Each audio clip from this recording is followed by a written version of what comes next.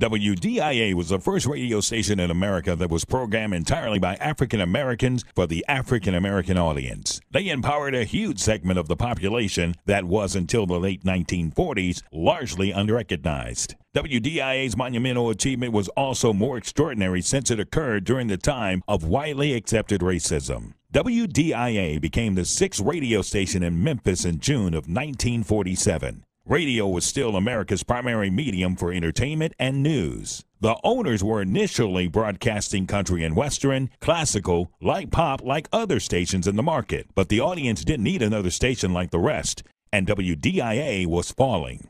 In a final act of desperation, the owners hired a local high school teacher and a nationally syndicated columnist, Nat D. Williams, to host the show. Even though the Memphis population was 40% black, no major media was addressing them in the late 40s. And then Nat D's Tan Town Jubilee first hit the air in October of 48, and the response was overwhelmingly positive. WDIA then brought in some blues records, and a local listenership grew. And WDIA became the second highest rated station in Memphis. In June of 1954, the owners got permission to increase to 50,000 watts and move to 1070 on the AM dial, and a powerful signal beamed from Memphis to the Mississippi Delta. WDIA then became the first Memphis radio station to gross a million dollars in a single year. In 1968, WDIA was put to test the day Dr. Martin Luther King Jr. was assassinated. The WDIA radio family gathered the city's highest profile leaders, and then they went on the air and calmed the community.